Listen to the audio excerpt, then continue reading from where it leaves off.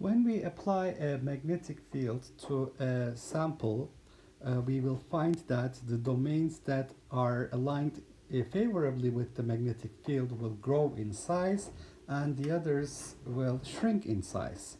So this will result in a motion of the domain wall. So we will talk about this uh, domain wall motion in this video.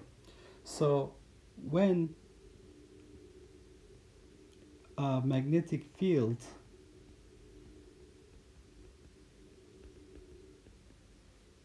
H is applied to a ferromagnetic material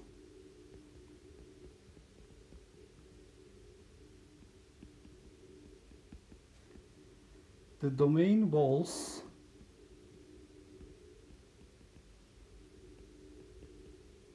move in such a way that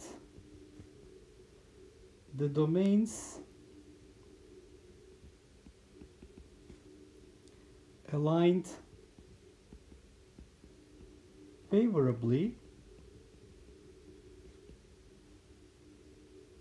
with respect to the field grow at the expense of other domains. So the other domains will shrink in size. So as a demonstration of this, let's consider a 180 degree domain wall. So before I turn on the field, uh, I see this domain wall is at its original position, domain wall with delta. The uh, perpendicular, uh, the upward pointing domain is has a length x0 and the other one has a length L minus x0 plus the domain wall with delta. The domain wall has an area A. And when I apply a magnetic field H, I see that this domain wall uh, moves to the right so that the domain that is uh, aligned with the magnetic field grows in size and that is anti-parallel with the magnetic field is going to shrink in size. So if I consider the energy per unit volume of one domain, uh, I can see that uh, the energy per unit volume of one domain is decreased by an amount the Zeeman energy minus mu 0 saturation magnetization dot product with the magnetic field as a result of domain wall motion.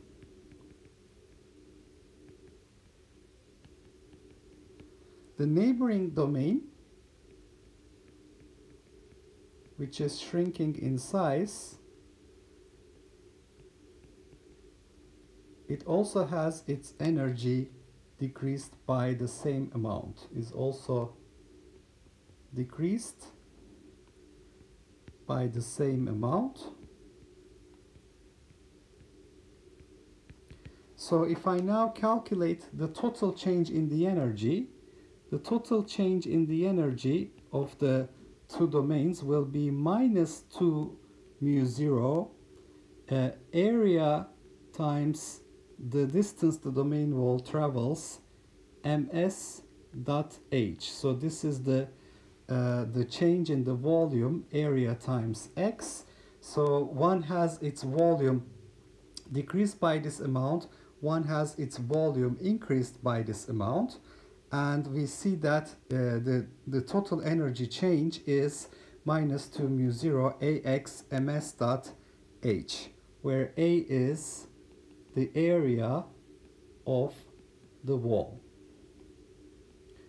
So uh, we can say that the wall feels a force per unit area. So if this is the total energy gain, uh, well, total energy uh, decrease by the motion of the uh, domain wall to the right with an amount x, uh, displacement x. Uh, so we can say that the wall feels a pressure. So it feels a force per unit area which is domain wall pressure. So how much is this pressure? The force per unit area the domain wall will feel is minus 1 over area dE total dx because a force is minus gradient of the potential energy. So we can see that the force, because it's a conservative uh, force, then we can see that the pressure, force per area or pressure is equal to um, so I'm going to divide it by area. Area will disappear and the derivative with respect to x will get rid of x and the minus sign will make it plus. So it is 2 mu 0 ms dot product with the magnetic field.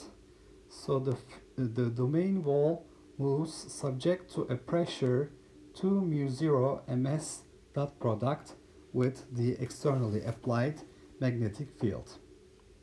Okay, so uh, when I apply a magnetic field to a ferromagnetic material, its domains that are aligned favorably with the field will grow in size, the others will shrink in size.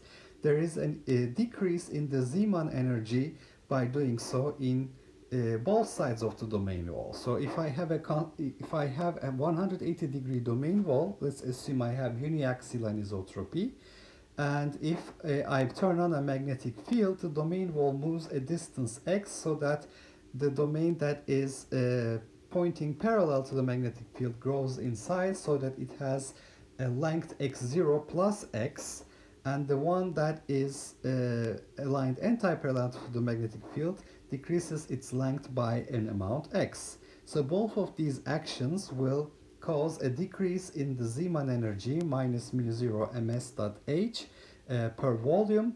And because the volume of one has increased uh, by uh, x 0 uh, x times a and the one and the other one has decreased by x uh, times a the effect is the same because the moments were pointing anti-parallel in the other domain so we have a total change in the energy minus 2 mu 0 uh, AX, that's the volume, the change in the volume, ms dot h. Uh, so the wall feels a force per unit area pressure, which is minus 1 over area, uh, the derivative of the energy with respect to x, or you can see that uh, as a vector, we can write this, the force is uh, minus 1 over area force over area is minus 1 over area dE total dx in the i hat direction so if, if I call this the x-axis and uh, therefore I see that the pressure that is felt by the uh, wall is 2 mu 0 ms dot product with H.